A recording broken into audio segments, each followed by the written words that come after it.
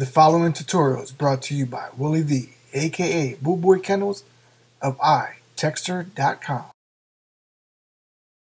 Hey, what's up everyone? It's your boy Willie V, aka Bull Boy Kennels. have a quick tip here for you. This is for those that um that like to create star shapes and maybe you don't want to fiddle around with the actual star shape within Photoshop.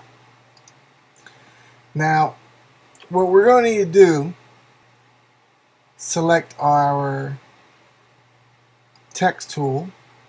So we'll select that. And in the fonts family, or where your fonts are all at, you want to select this one right here, Zap, Zap F, Dingbats.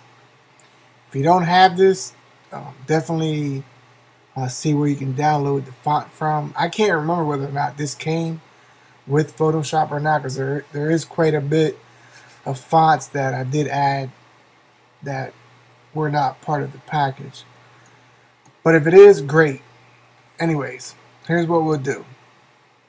We'll go ahead and uh, type in some text. What you'll need to do to get the star shape using this particular font, you want to hold Shift H and as you can see, it created our star. Perfect star.